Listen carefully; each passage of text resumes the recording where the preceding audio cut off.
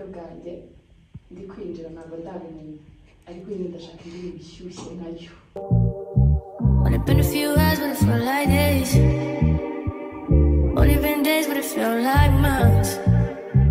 Been gone for a year, only know like once. Life move fast when you do what you want.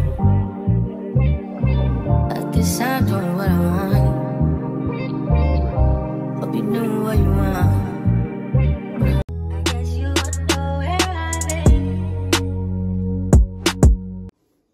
Beautiful people mumeze mute amakuru yanyu so this is how we starting our vlog I think. Muri vlog kubera ko iyi vlog iri based on kwiyitaho a lot of you all have nananutse gute nananutse gute na trying anyways hano rero sinabibasobanura neza ukuntu nananutse ndumva wenda mu yindi video nzakora nzabashyiriraho lisite cyangwa se nkababwira ariko reka mbabwire ibyangombwa hano. So rero ngewe ukuntu nananutse guys ntabwo naryaga pe ntabwo naryaga ndi mu gihe cyo kubura peti hari igihe umuntu ageramo akabura peti ntagire. Rero ubundi mu gushaka kubyibuha. Ngiye gukora sheke ituma mbyibuha. Kanze mbashyireho lisite hano y'ibintu nakoresheje nashyizemo hano. Ubundi turangiza dukomeze tuvugane. Umutwe wanjye urasa nabi. Nimba bavuga ngo simeruka igihe mperukira gukoreshereza inoza umusatsi inzara no kwitaho kandi ntabwo ari kuvuga ko nabuze amafaranga. Ntabwo nabuze amafaranga. Gusa nanone gusevinga cyane. Tugenda gusevinga cyane bikambuza no gukorera utuntu nk'utu nka dutoya twinuza muri ukuntu ifashe birafashe cyane ni byiza. Rero guys cyagiye murabizi ko hari igihe narwaye nkaremba cyane. Ibaze ko nari mfite ibiro mirongo irindwi n'icyenda ubu ndi ku biro mirongo irindwi mirongo irindwi mirongo irindwi na kimwe. Nananutse cyane pe nananutse ku buryo n'umuntu wese duhuye arambwira nananutse cyane kandi simbikunda. So niyo mpamvu ndi kugeninga weight. Rero ndaza kubarebera abantu mutakora search cyangwa se iki nzababwira lisite y'ibintu binanura ariko ubundi singiye sinaryaga nabaga ndi kunywa amazi umva nahoraga nihata amazi mureke njye gukoresha mu mutwe ko umutwe wanjye urasa nabi pe urasa nabi. Iyo mbahereje vloge nini guma mushaka kuyi- kuyireba. Nabahereza inoya ati nayisi you are not great to the person. Hajya yengeye kureba nk'ikimo hano i think ko nabi so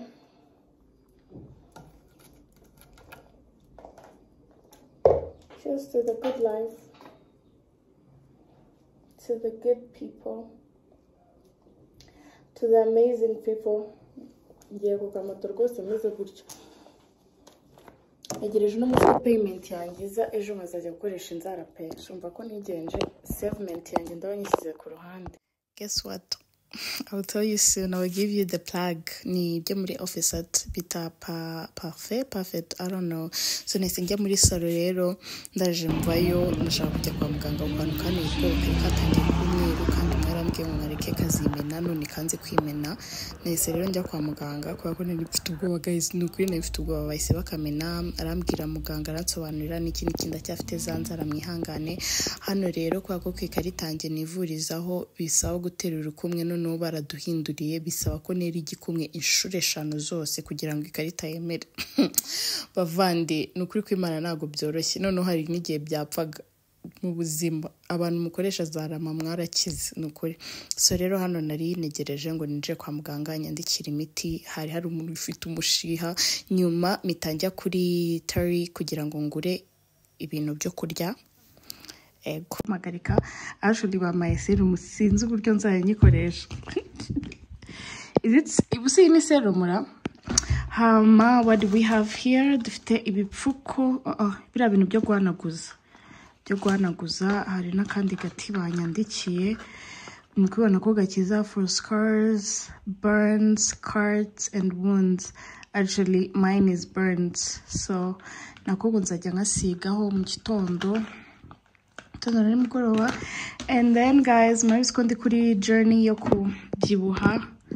To buy umuti nubwo ari uw'abana ariko ni vitamin whatever itera peti and uh, babyanditseho ra nzajya nywa eh, ijana na mirongo itanu whatever nabizi mu gitondo saa sita nijoro. So i think we gonna take one now. Ikibazo ni uko majije kurya we. Bata batararya.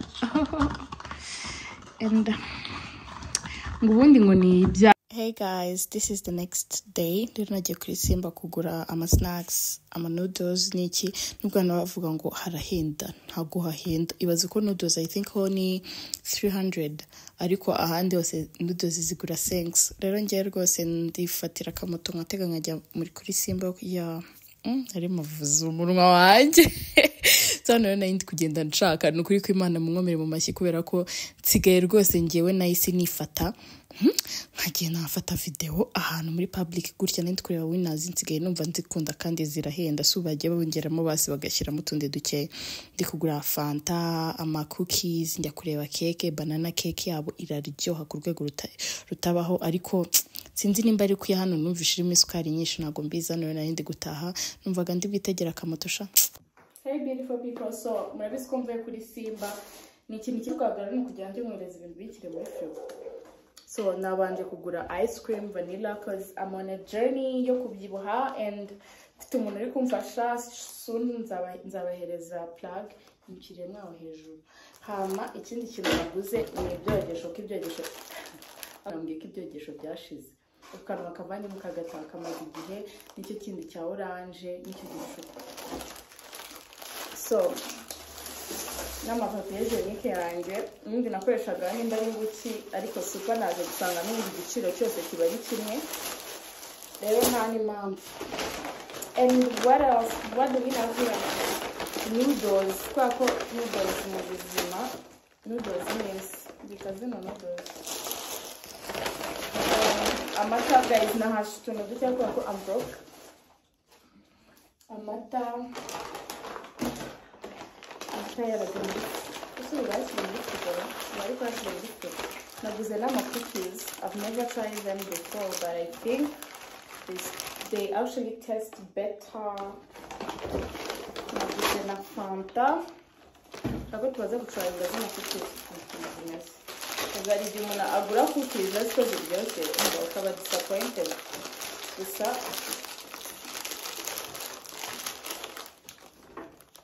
umve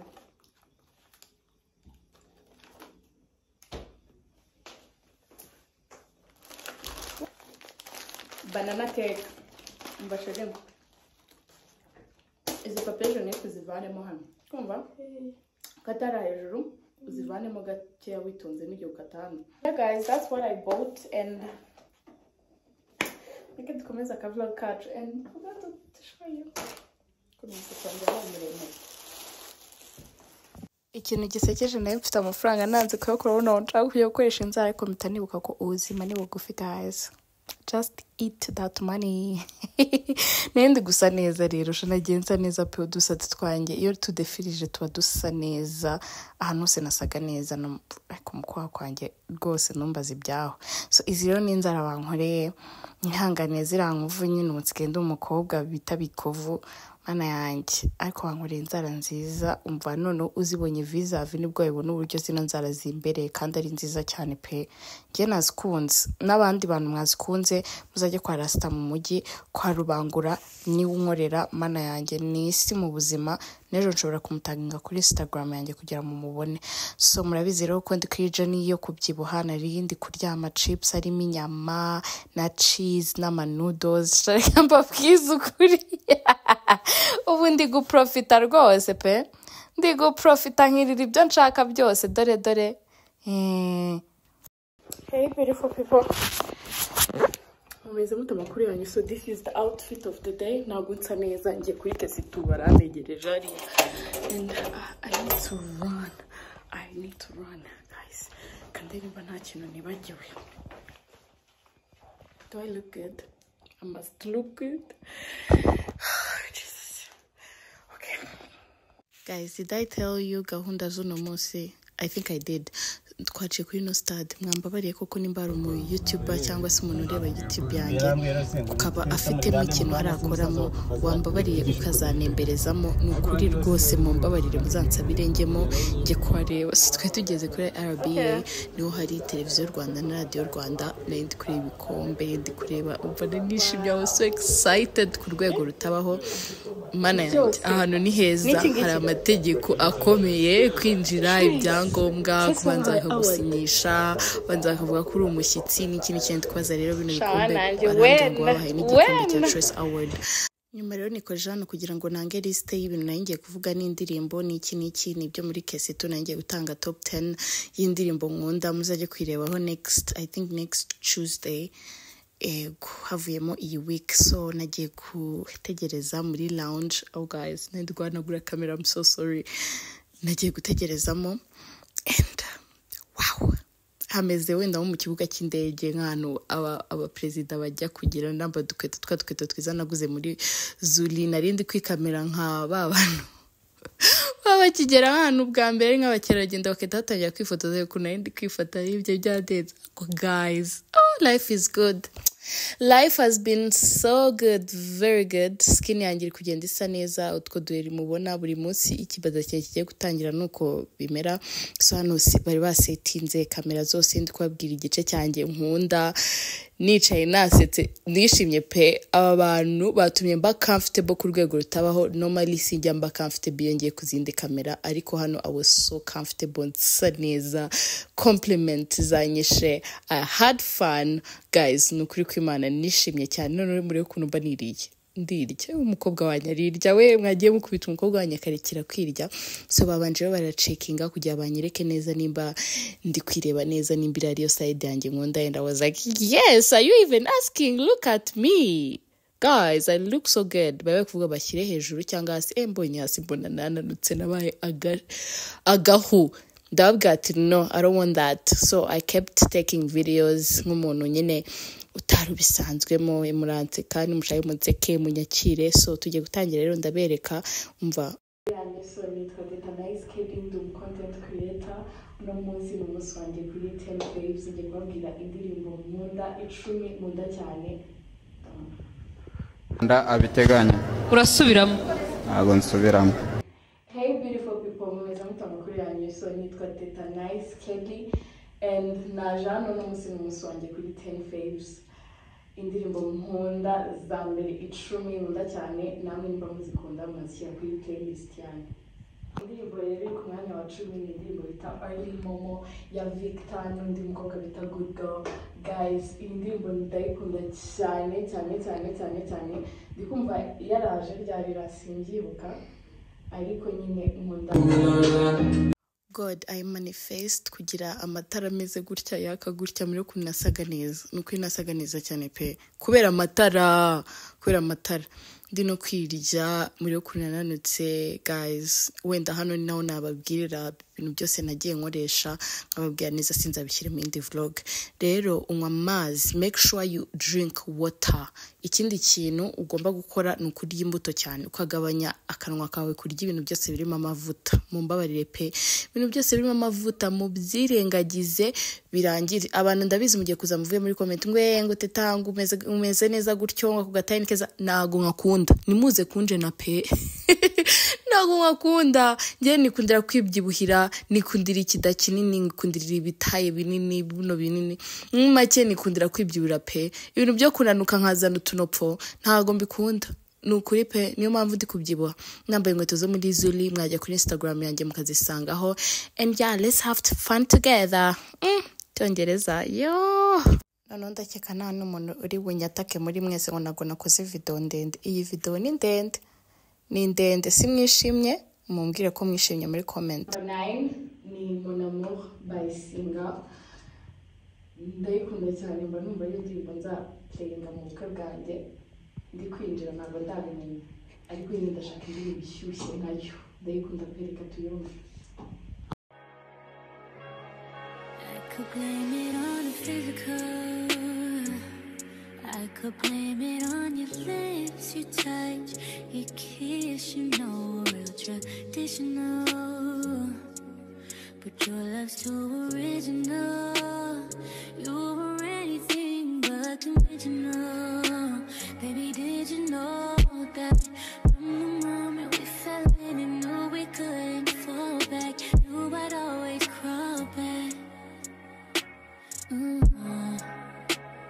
Cause baby, it's the everything for me, for me.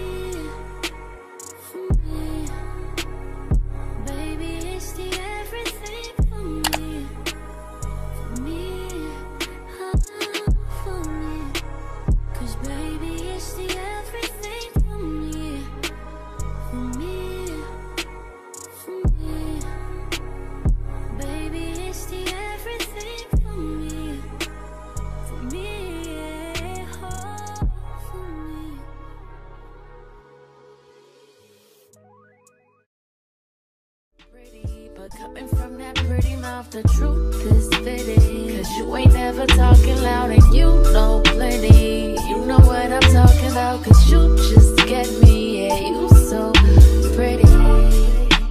If everything is dipped in gold, then baby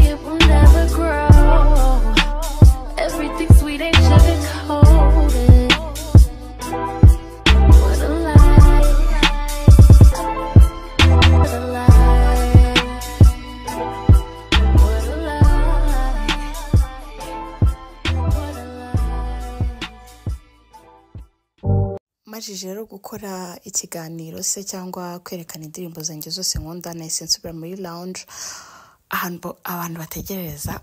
Muri vip is it vip i don't know. So guys actually nari negereje ko imodoka nyine yantwaye igaruka kumfata baje kumfata barananahana guys oh shabana ni abantu beza pe.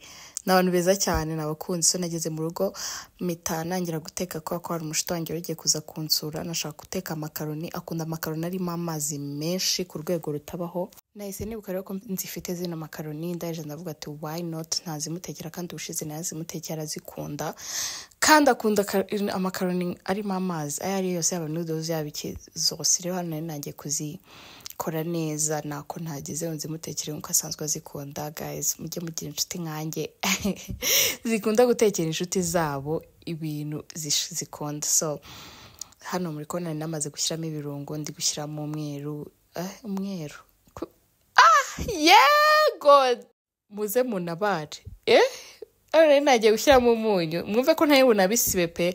Numvaga ndi gukurevinga ifiriti zinuza z'ibitoki nendaga gupfa pe. Ndaje ndazo ndazikora ku ruhande ndazikora nkeya nyine ntabwo zari nyinshi. Ubundi ndangije ntangira kuzishyira mu kanuza mu gateka kari kari ku ruhande. Hano rero makaroni zanjye ni nkaho zari zahiye ariko ntabwo zari zagiyemo amazi menshi. Aranyica rwose. Ubu mu ndebe ubu sinzi uko ndi bwisobanure mu gihe mutegereje rero imvura yayisigwa. Yahise ambwira mwisangira piripiri tujya kurya amasifudu sinyakunda habe na gato nudarinze ibindi biryo ku ruhande. Hano ni piripiri i think ko ibiryo ndibuze kubibereka nibikunda hano ni piripiri hose rero ukuntu hari hameze. Twari twagiye kwicara rero hamwe mu nguni. Reba ukuntu ari meze ni ukuntu ari ndi gusa nari meze neza ndi gusa neza. Ni ukuri kw'imana wo mu ijoro nubwo nananutse. So natumye steak n'amachips undi muntu w'umushuti wanjye nawe arya ibyo. And anje sheri wanjye we yari ari kurya amasifudu nta nubwo rwose reka reka nari ndi kumubwira ngo nankatire nankatire iyo ko numvaga mfite ubunebwe. And guys abantu tugiye kubona tubona abantu baridumbaguje dutaha twishimye ubuzima burakomeza. I love you guys. Imana ikomeze barinde kandi imana iguhe umugisha nimba urangije ino video. Ni ukuri mwifurije imigisha myinshi n'amafaranga. And have a great day. Ndayipositinga ku manywa imana ikomeze barinde see you next time. I love you and i love you so much. God bless you. See you. Bye.